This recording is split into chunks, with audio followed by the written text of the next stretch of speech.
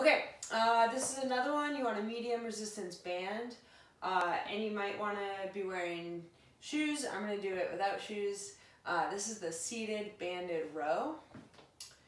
And you can do this just around your feet or if you have some sort of a pole or railing or something, uh, you could certainly loop the band around that and it would be more stable.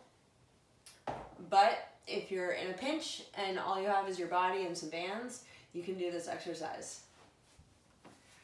Okay, so I've looped my hands through the band.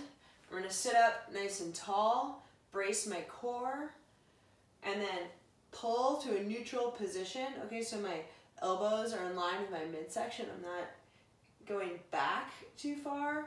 I'm engaging my back and really using my traps here.